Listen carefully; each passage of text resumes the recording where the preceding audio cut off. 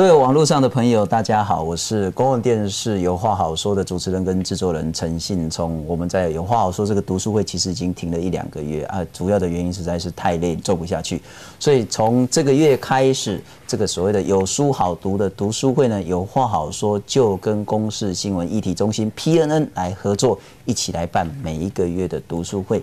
今天我们要念的这一本书呢，其实蛮有趣的啊。这一个作者呢，也是有话好说的这个志工，经常帮有话好说做所谓的文字直播。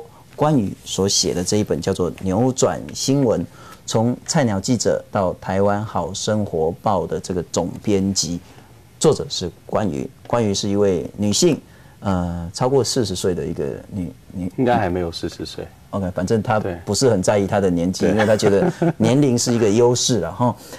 那其实关于是一个非常特殊的一个记者，他从十几年前当记者开始，然后当了几天七天之后，就对整个媒体环境有很深的厌恶。知道这整个结构出了很大很大的问题，当然他还是继续做了记者几年。可是之后呢，他大概离开了媒体圈，但是他做另外一件更有意义的事，他创了所谓的台湾好生活报。中间当然停刊了一阵子，后来又再度的复刊。其实一个没有收入，然后呢自己要负担出差费还有电话费，电话费其实是很恐怖的，这样子一个庞大费用是很吓人，而且那个 loading 是很大。为什么他有那么大的热情，有那么大的动力，可以支撑他一路走过来？另外，我们今天要好好谈一下独立媒体在台湾究竟是什么，而它又改变了什么东西？包括说今天有话好说，我们在礼拜一所谈的是在苗栗所谓的土地被强制征收的问题。为什么有话好说会谈这个题目？也是因为一些独立媒体在 Facebook 在铺浪一直传递这样的讯息。这样的讯息原本在主流媒体全部都被封锁，可是独立媒体包括公民记者们，他们突破了这样子一个媒体封锁，把讯息一直的散布出去，而逼的公共电视必须要好好的面对。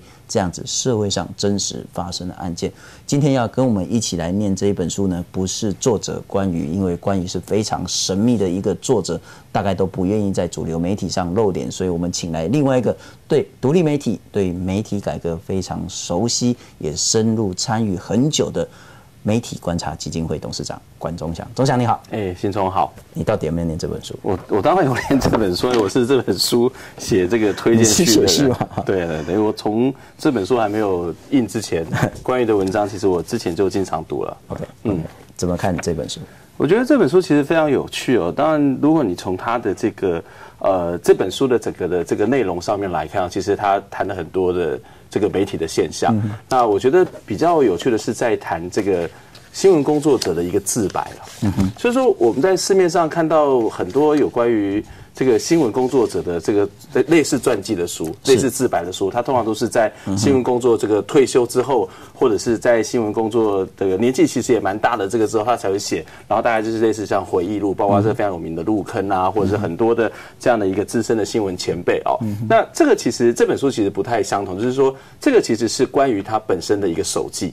就手机，就是他的本身的杂技，他在其平常在刚刚去这个媒体工作的时候，他就开始有这个写日记的习惯，然后也会把部分的内容是抛在这个当时的《明日报》的个人新闻台，就关于关于媒体改革这个新闻台上面，那是慢慢的累积。所以其实我我们可以从他的这个部落格或从他新闻台上面看到这个记者的这种所谓的转变哦。那这个转变其实很有趣，就是说，那为什么他会从一个对新闻有热切渴望的人，然后他也到了一家其实在整个台湾算是。主流的大报当中也非常长的一段时间，是在这里面，他其实有很多的挣扎。那最后他为什么会离开这一本啊？离开了这一家媒体，然后自己去创立了一个叫好生活电子报。我觉得这是一个非常有趣的一个转折的过程。我们来谈谈媒体的一些问题好不好？嗯，因为他谈到大元空案的时候，他去华航那个总公司，就你明明知道说来的你所面对的这一群应该是受难者的家属，对，大部分之前的媒体都是说啊。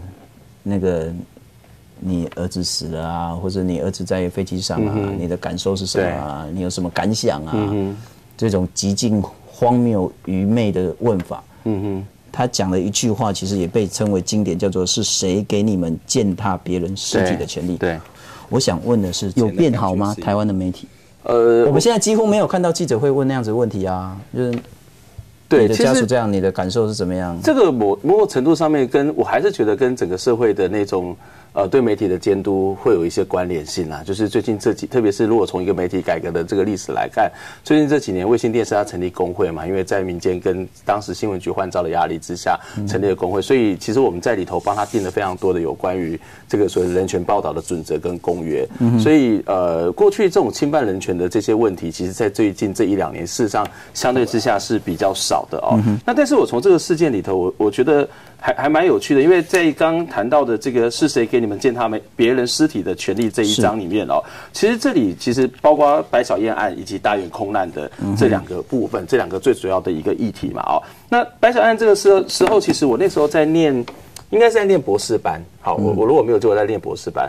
然后那时候我们参加一个学生社团，叫做传播学生斗争。我们在当时就发起了一个叫做抵制八大黑心媒体的一个活动。那就是说，我我们因为认认为当时有包括像中国时报或者是其他各家的媒体，包括民生报，他们就把这个所谓的白小燕的这个尸体或者一些呃陈庆新等等的这样的一个呃一个画面去呈现出来，那所以造成了这个后面有很大的对社会产生一些很负面的影响。那当时很好玩，就是我们在做外面的所谓的改革，所以当时其实就呃很多像巴人人本基金会他们就发起了这个像大游行嘛，对不对？就要那个道歉，这个大总统道歉那个总辞的大游行。那我们在大脚踩在总统对对对对，就是用镭射光把它踩在总统府上面。那我们在外面就发起这拒绝八大黑心媒体，然后我们也发起就一群学生就跟一些老师就发起所谓抵抗广呃就所谓的抵制广告主的一些活动哦。那其实当时我们都会从这样的一个角度来看，所有的媒体就觉得很糟。可是如果从刚刚信聪的这种谈法，以及在这本书里面，你会发现其实媒体工作者在里头是挣扎的。好，例如说，其实他也不忍心想要去问这个问题。那但是有几种状况，例如说，他可能被老板 assign 去，你要去问这个问题。另外一种是是说，可能是这个记者他没有任何的能力跟准备，他到现场他也不知道问什么，嗯哼，所以他也没有办法问出一些专业性的问题。叫他去跑，对他当然问问这个问题其实也可以理解。可是问题是说，关于他不太一样哦，就是他面到这种状况的时候，他会回过头来打电话跟媒体抗议。我我觉得这是一个在这个媒体当中，例如说他在里面，他就包括他当里头都提到说，他看到这个《中国时报》刊登这个事情的，然后有一些这个说明嘛，哈，然后他就去这个呃。打电话去跟中国时报抗议，是，所以其实我我们常常会觉得说，呃，很多的媒体工作者在媒体里头，嗯，他其实呃，我常用的一句形容就是老文聪讲的一句话，就是“狼来让这行生，不狼去这减生”，就是不是说记者是减生的意思，是说一个人如果可以去当神仙的话，他不会去选择当畜生。那假设这个工作是一种大家不愿意去做的话，很多时候媒体工作者他是在那个环境当中，他面临到一个非常不得已的状况。我请教你一个然后你刚刚谈到说，关于是一个很奇怪、特殊的一个人，就是说他除了抗议不满之外，他还会打电话，对，去那一间电视台嘛。他其实也谈到在六十八页谈到华视了哈，嗯哼，那华视现在也是公广集团，不过是以前的华视。他讲到华视的摄影记者一个非常不好的作为，就是进入人家的新闻现场，而且。就是严重干预，而且是很没有礼貌那样干预。他打电话去来，然后到华视对痛骂这个记者。我想问的是，这样到底有没有用？如果说你今天看到某一个电视台报道是让你很不满、很不舒服的，或者你看到报纸很不满、很不舒服的，你打电话去骂他们，到底有没有用？你接的只是一个行政的小姐、总机小姐，嗯，你真的能改变这些东西吗？呃，我通常的回答会是这样子说。我没有办法确定打电话有没有用，但是我确定不打电话一定没有用。我我觉得这可能是一个非常阿 Q 式的谈法，可是它必须是一个你的不满必须跟。化成行动嘛？你没有化成行动，你没有办法去检验这个行动到底有用或是没有用。可是，在我们的经验当中，我觉得有一些蛮有趣的例子哦，不管是对于政治人物或是对于媒体哦，我我们经常会有一些像，例如说媒体观察基金会有一些申诉的机制，是以及会下载这个所谓的电话的这个 complaint 的这种所谓的专线，然后打去的时候呢，当然一开始会有这种所谓的不太礼貌的回应，可是人一多的时候。他就会常我们说形容接到手软，然后我们也常常看到很多的回应说，哎，上一节可能对某个小孩的脸曝光了，那但是他下一节这个脸会打马赛克，那这个其实有时候它不见得是一种叫做抗议，而是一种提醒。我我觉得有时候新闻工作者他有非常忙碌的这个过程里面哦，他会有一些。呃，没有办法去注意到的事情，可是有时候观众去做这个提醒的事情，我觉得是非常非常重要的。我可以就跟你讲我的例子好了。嗯，NCC 在一年多前韩转的一个观众投诉给我说，那个观众呢不满我们太过批评政府，太过批评中国，然后讲了太多台语，然后他投诉给 NCC，NCC 呢就来文照转，就转给我这样子。嗯，啊，我看到很气很气，我说什么年代了，二十一世纪的我还不能讲我的母语，这是什么道理？啊，什么道理？我不能批评政府，不能批判中国。嗯，所以我完全不接受那样子对我的质疑。所以那样子的质疑，虽然他转到 NCC 再转到给我呢，对我来讲没有产生影响，只让我情绪有一点那个受挫或者是气愤这样子，没有改变到我他想要我改变的东西。那当然这是比较极端的例子。可是如果说他是很明显的错误，譬如说过度铺露尸体，嗯哼，譬如说侵害他人的人权，譬如说把那个触犯儿少法，把那种不应该揭露的资讯把它揭露出来，一个人打可能没用。可是三十个人打，可能会改变一些事情。呀，我我觉得是会啊，在我们的经验里面，他的确是会的。但是能改变多久呢？你一一天两天，所以一个月后又再换了。所以这是一个有趣的问题，就是说能改变多久？我我其实我以前对这种所谓的打电话抗议这件事情哦，这样的事情我并不是觉得是一个非常好的做法。我曾经用一个我我之前在广告杂志上面用一个用一个状态来形容这种打电话，就是。打电话看有点像打地鼠，嗯我们去百货公司玩打地鼠的游戏，这个地鼠冒出来，对不对？然后我们打下去，下一个地鼠又从别的动物冒出来。那所以你这样会打不胜打，没错。那怎么办呢？那就是不是一个单单纯的去打一个东西，它只是一个一个可能就像你刚刚提到是一个过程嘛啊，或者说它可能是某种的方式之一。我的意思说有没有办法把电拔掉，地鼠就跑出来？所以有两种，一种就是大家一起压。它就跑不出来了，对不对？那就是你需要更大的力量。另外就是电拔掉，电拔掉，我不要把它谈，这是一种在整个制度上面去做一个比较大的改革。但是显然目前没有拔电的方法。对，或者是说对绝大多数的乐天人而言，他没有办法去参与拔电的这件事情。例如说，你要跟他谈政策，我们要去说制度上面改革。可是对对读者观众来讲，我就喜欢看好看的节目，或是我看节目的感受而已。所以他就可以用他自己直接的感受去回应这样的一个内容嘛。我们来谈一谈啊，哈，其实台湾的观众有一个很大的转变，就是说。一开始我们是期待所谓的媒体开放、解禁这一部分，然后可是后来我们也看到，的确朝向一个很不好的方向，媒体混乱啊，然后没有社会责任啊的情形很严重，所以有人选择像关羽这样打电话去骂，有人选择把电视关掉不看报纸，那可是呢，也有人选择走另外一条路，对，叫做独立媒体。我们看到关于他所创立的是台湾好生活报，嗯哼，那我们也看到所谓的那个小地方新新闻网。我们也看到，在台湾一直做出很大贡献的古老网，对，我们也看到很多社区的报纸的出现。我再请教你，这些所谓的独立媒体，嗯哼，究竟只是一个满足个人的欲望，这样子一个实现自我理想的昙花一现，还是它真的可能串联起来改变一些事情，特别是媒体的问题？我觉得，呃，应该这样子讲，就是说。现在，如果你要谈个别的独立媒体，或者是所有独立媒体，能不能够达到同样的这种所谓的功能，恐怕是没有办法用同一个标准去看的，因为它有不同的条件，或是有不同的议题嘛，或者说会有不同的人在做这样的事情，所以它是不是叫独立媒体就可以达到什么？其实未必能够用这种方法去讨论哦。可是我们从另外一个角度来看这一件事情呢，例如说，呃，现在的新闻台的收视率大概零点五，算高的嘛，对不对？新闻台啊，差不多了，零点五对，还有些我看过在零点二左右嘛，哈，跟我们不相上下。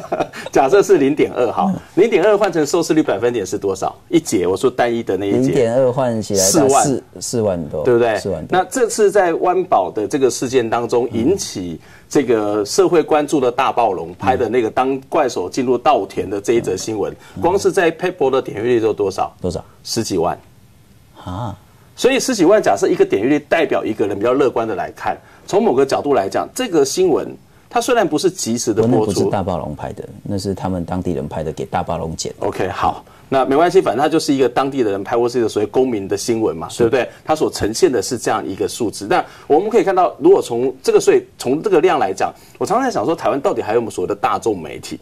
好，就是大众到底大大家都是小众媒体，对，某种程度在新闻当中，我觉得都是小众媒体，可能比较能够称上大众媒体，可能是苹果日报啦，因为它五十几万，事实上还算蛮多的，它收视率换起来大概是两个百分点嘛，对不对？两到二到三个百分点，如果在那个转阅的话，那可能会更多。如果有大众媒体，大概就是苹果日报，其他很多的新闻台，我觉得都不能够算是一种大众哎。所以从那个所谓的所谓的触达率来看哈，有些的新闻它的触达率是可以很高的。呀，OK，那很高的话，它当它触达率高的时候，它的影响力就有可能会去发生嘛。那当然就要看它的议题的本身。例如说，呃，很多人就在讲这一次的这个湾宝的这件事情，因为这个大暴龙所剪的这一部影片出来之后，哎，开始有人就开始质问说，为什么？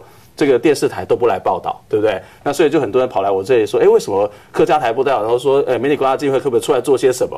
然后我就在开始在 Facebook 上面就请大家来打电话，一直骚扰我们这样子。对对对对。那所以我是怎么样？我是受到这则报道，看到这则报道的影响，然后我去发起了这个东西。是。然后后来你也可以看到，呃，我不知道客台或是公司有话好说，是不是因为这个过程而来做这事嘛？对不对？那如果有的话，它影响力不就发生了嘛？所以我觉得很难用一个普遍性的标准说它一定是如何。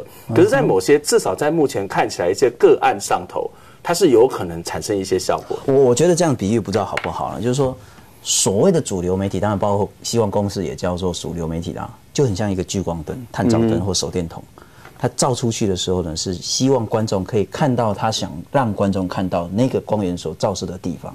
嗯，可是公民记者或是独立媒体呢？它也许只是小小的一个，不然不要不要讲到萤火虫然后比较小只的手电筒。嗯哼，当主流媒体都在照这里的时候呢，这些所谓的独立媒体跟公民记者呢，是照到他们认为更重要的东西。嗯，那也许有那样的机缘，主流媒体会看到他们所照的东西，转过来照同样的地方，那就达成目的。可是这也是可遇不可求，你一年也不过发生几次而已啊。嗯，对，也许一开始是几个事件啊，那也许是因为你这种谈法是把这个所谓的主流媒体跟所谓的小众媒体用分工。嗯，会不会有一天大家其实不看那个聚光灯而看手电筒他发现那个聚光灯所照出来的东西都不是我要的，我手电筒照出来的东西是我要的，我会不会去转而去看这个手电筒呢？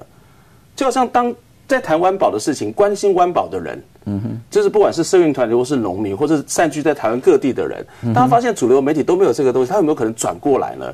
一次也许是一个意外，可是如果是两次、三次，他会不会就是慢慢变成是另外一种平衡，或是另外一种翻转，或者是另外一种？差异的可能性，我再举更早之前的热身事件好了。我觉得热身是一个最奇妙的状态。怎么说？你你会发现在主流媒体当中，基本上来讲，只要出现热身都是负面的。嗯，对。那要不然就是你是不报道、不呈现的。可是你你又会发现，热身的这个议题，其实它也不断的透过各种不同的文化行动，或者所谓的另类媒体的方式去做一个没有被主流媒体所关照的运动，它居然可以带出了五六千人的游戏。但是五六千人的游行是从哪里知道这个讯息的呢？他绝对不会是打开报纸说，哎，什么时候要游行嘛，对不对？而是透过了某种其他的管道。那你会发现，热身的事件有这么多人上街头，或者是湾宝的事件开始，主流媒体因此假设是因此而回过头来做报道的话，或者说点阅率是，但是所谓的点阅率已经超过某个时段的新闻台的收视率，那这个东西它会不断在发生啊。如果不断在发生的时候，那主流媒体它就必须要去思考，为什么我不在？成为一个主流，或是为什么没办法成为一个优势？你会不会太乐观？我的意思是说，我当然是乐观，只有乐观才可以活得下去。也是啦哈，因为你是媒体观察基金会的董事长。可是对我来讲，我其实挫折感很大。我的意思是说，我们相较起其他的所谓的主流媒体，我们谈了不少所谓的小众媒体的议题了。呀，收视率每次都给我们教训。嗯，也就我们其实现在已经很清楚，也许明天我们再来检视一下，我们今天谈湾宝，然后谈大埔的收视率会这样。我在想，有零点八，我就很高兴。嗯。那我们大概以前一阵子大概都可以到零点二，呃，到零点二了。那如果今天这一集有零点零八，零点零八，我就会很高兴，很高兴，腰斩再打八折这样子。我的意思就是说，显然没有。我的意思是，那个小只的手电筒照的地方，嗯。就真的是只有少数的人在关心。呃，某个程度上面，如果你从这样一个数字来看，或许是了哈。但是我刚刚两年多，我的经验都是对我刚刚讲的是一个比较长期，起码我们看到有一些事件是慢慢去突破这种发展的哦。那另外一个就是说，那个影响力，啊或者说我们所 care 的，它到底能不能成为一个主流？这个概念是在一个数量上面嘛？呀，还是一个它在一个对的人，或是一个精确的 audience 上头？我我的意思是说，例如说，我们常在讲说什么《纽约时报》《泰晤士报》，它的收视率、它的月报率都不是很高啊，它的发行量都不是很高啊，可是它却是影响到一群重要的人。或是影影响到一群对这个事情、对这个议题关心的人。是恐怕我们再去谈所谓的主流或另类，或者是谈到这一这样的一个一个所谓的分类的时候，可能要更细致的去做不同的讨论。就是说，他如果在这个过程当中，他带起了更多的农民对这个议题的理解，是或是这个所谓的警觉，而共同的去从事某些的事情，嗯哼，它的影响力绝对比那个观纯粹的观众还要大很多啊。我们来谈一谈媒体的出路好不好？我们把它分成所谓的主流媒体跟独立媒体。换句话说，现在显然大家对主流媒体是放弃的，就让它继续沉沦、继续堕落，然后大家继续不满，我还有一点点拒的绝收看期待啦，对。那独立媒体当然大家对它期待很高，可是你大概也不太可能期待它一下子从一岁变成是五十岁的这样壮年。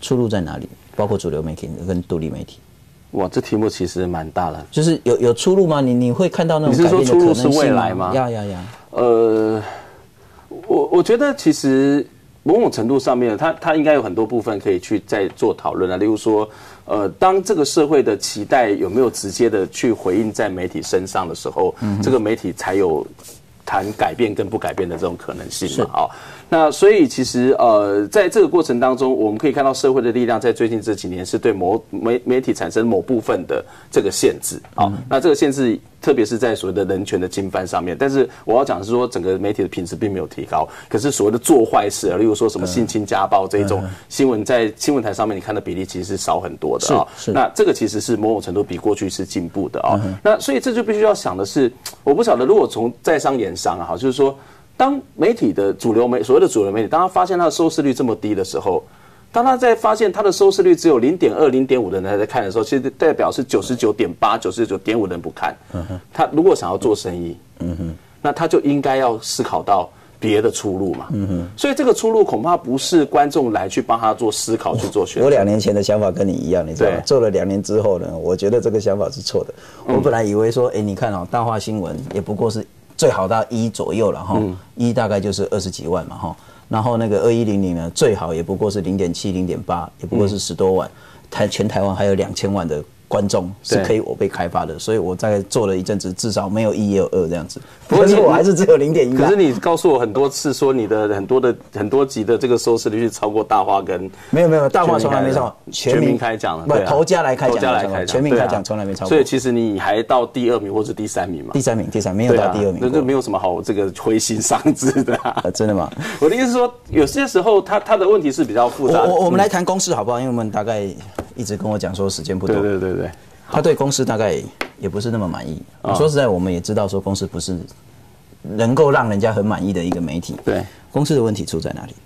公司的问题哦，这谈五天都谈不完吧？最主要的问题，特别是公司新闻，呃戏剧那些就不要谈，或者管理管理管理是大问题，我们接下下次再谈。嗯新闻的部分出在哪里？我觉得公司新闻整体来看，其实相对于很多的主流媒体来讲是是不错的哦。但是我觉得一个一直在进步当中的事情，但是我觉得还不够，就是我我我不晓得，就是在台湾常常会出现一种状况，就是谈严肃的问题，就会把这个这个整个节奏啊，整个说故事的方式搞得非常严肃。那可是我从来不认为一个谈严肃的问题就必须用很严肃的方式来谈来讨论。我的意思是说，公式在这个议题的本身是没有问题的，是可是在表现方式上面，做法上出了大。我我觉得它其实应该有更多的所谓的新三色也好或者说更多的那种所谓的冲突也好，或者是更多的这种所谓吸引别人的点用也好。撒狗血的方式来谈公共议题。呃，我不我不认为它是不可以的。OK 我的意思说，如果从一个所谓的我我要讲的是表现方式，我不是说那个议题就是新三色的议题，而是一种表表撒狗血的议题。譬如说今天我们谈温饱大埔的话，就多弄点那种不公不义啊，然后农民被欺呀、啊，那嗯种哼尽量勾起人家的这种同情心，这样的方式搞不好是比较好的。我觉得这是一个方法啦，但是是不是很好的方法，得要看那个议题本身而定。但是我要谈是说，你要让别人进入到你的议题，你必须要那个过程。OK，就是如果当别人都不想看的时候，你的议题是白推的。就不应该做自己爽。对，所以我觉得那个表现方式怎么样跟社会沟通是一件非常重要的事。那问题还是出在哪里呢？长期的公司不在意收视率的这个结构性问题。我觉得不在不是单纯的收视率，而是在于说我们说故事的方法。我的意思是说，很多时候我们会被公式给框限。我常常看到以戏剧来讲，一个在商业电视台的戏剧的这个制作人，到公司去做戏剧的时候，他就非常就是非常公式。嗯哼，他就很自然，很多的框框就框框在自己的身上，他没有办法施展开来。如果他可以用所谓的商业商业媒体、商业戏剧的表现方式来谈一些公共议题，我我举一个例子啊，例如说前一阵子公示的像《与那年雨不停国》，我觉得他其实某种程度他就很洒狗血啊，对对，但是他其实谈的是一个非常严肃的议题。嗯哼，对。那这个其实是一个可以尝试的方向。我想单纯的从新闻能不能够让大家想要看这件事情来。我我直接请教你，然后你怎么样看待公视？譬如说我们谈说像是 TVBS、东森、中天、华视、中视、台视这种叫做主流的电视媒体，跟像是那个台湾好生活报，然后那个小地方新闻网、苦劳网这种叫独立的媒体，公视的位置你是把它放到主流这边，还是独立这边？我觉得我的意思说，你可以放多少期待在里面？我觉得公司应该是主流媒体吧？是吗？对，期待嘛，你讲是期待嘛。嗯哼。但是它的整个的市场占有率是小众媒体嘛？嗯哼。对，可是它应该扮演是一种所谓主流媒体的角色。那因为在历史的过程当中，它被。摆在一个叫做补充性的功能嘛，叫做补充主流媒体、补充大众媒体的不足嘛。可是，在很多时候，它应该是一个引导议题，或者是引导整个所谓的收视的一个一个很重要的角色。当然，在现实上面，目前不是这个样子。显然，我们离题太多了哈。不过，我们再来谈一谈这本书。我我想问的是说。也许你要叫民众一般的民众像关羽啦，然后像琼里这样子弄，把自己的薪水通通都捐出来，然后来搞这种独立媒体，我觉得这有点强人所难，因为这毕毕毕竟是极少数人才会做的，对，因为他拥有太大的热情。其他人能怎么做？也许我不要花太多的钱，不需要花太多的力气，我可以帮助这些独立媒体。嗯，就是捐款哦，是最简单的。如果你是要帮助独立媒体的话，就捐钱，因为钱是他们最需要。我觉得这是最最重要。例如说，这本书非常重要的一个目的，就是希望透过这本书的贩卖，嗯，然后能够让好生活电子报有一些基本的这种所谓的经济的来源。因为这本书其实定价不便宜的，这本定价是三百五十块。可是他关于有特别强调的说，哎，你不是只买这本书，你还买了赞助了像媒体观察、电子报新闻跟接下来好生活报、好生活电子报，他们还要去。请两个记者在台湾到处去报道台湾的好新闻。对，钱是最重要的。我觉得钱当然是非常重要。就是我们常常会对很多东西有期待，但是我们没有行动。而钱可能是在所有的行动当中，其实对很多人来讲是最简单的。三百块、一百块、五十块，都是一种力量的支持。好，那要捐给谁？譬如说，我们现在其实我们都能认同台湾好生活报是一个不错的独立媒体。还有谁呢？总不能只是捐给他吧？你我可以说捐给媒体观，不行不行，这样子有图利之嫌。我觉得台我我觉得 也可以捐给有话好说。刚才叫我捐给 P N，我我的意思是说，如果你你看你认同谁嘛？你如果你认同苦劳网，当然捐给苦劳网；你认同像呃这个其他像这个小地方生活，OK 报电子报都可以去支持他。除了钱之外呢，有没有办法我不用花太多力气，我也成为独立媒体？我我觉得当然是可以的啊，就是例如说会写部落格的人，他就有可能成为独立媒体嘛；会照相的人，他就有可能成为一个独立媒体吧。可是他的问题不在于说会写或是会照相这件事情，是说你有没有透过你的照片、透过你文字带出一些所的你关心的议题，或者说是社会所关心的议题嘛？有没有去揭露，或是把一些东西是告诉大家别人所没有看过的？我其实要讲一件事，就是说你那个转贴、转寄这个动作真的很重要。嗯。像我们今天会谈那个弯跑大谱，其实就是太多人转贴转寄给我。嗯，那我如果不谈，我因为大家对你有期待啊，真的吗？我觉得好了好了，谢谢啊。可是我的意思是说，因为你转贴转寄不花成本，嗯，就是顶多一两秒的动作，但是你会让那个所谓的媒体人，他会有信息来源，或者他会有压力。其实这个会造成一些改变。我我觉得可能除了转贴转寄之外哦，如果有空的话，可以多写一行两行自己的感想。我觉得把你的心情是放在那样的一个转贴转寄的过程，我觉得那大家会更想要看，更容易去感动人。嗯哼，对，如果都是一样东西，大家就其实蛮容易 delete 掉。好，我我看那个今天关于一定会很期待你给他一句话，包括这一本书跟这一个人，你怎么样看待这本书或这一个人？我觉得关于是一个很奇妙的人，就是说我我们看到很多的媒体工作者，当他遇到挫折的时候，他不是妥协，要不然就是老跑。那但是他选择了另外一种。在持续坚守他的岗位的方法，就是自己去创立电子报，是一种独立的这种所谓的记者。在台湾，我们也看到越来越多的这样的人，或是这样的团体的出现。我觉得关于跟这些朋友都是非常值得敬仰、敬佩的。嗯哼，可是我也要给其他的像现在还在工作岗位上的这些记者一些建议，然后就是说你可能还是要忍一下，嗯，忍忍忍，哎，轮刚好你看短波的时阵哈，你有操纵议题的能力的时候，你其实就可以去实现你刚当记者最之前最菜的时候那股热情跟理想。我可以补充一句吗？请请，我都要结尾了。对对对，啊但是不要那个换了位置而换了脑袋，那个理想要坚持。我有没有换位置换脑袋？你要问你自己哦。应该是有。谢谢您今天在网络上收看我们的有书好多，这是由公共电视有话好说跟新闻议题中心 PNN 所一起合作的这样子一个读书会。或许未来这样的读书会也有一些转型的工作，也希望大家可以给我们一些建议。谢谢您收看。感恩啊，谢谢谢谢。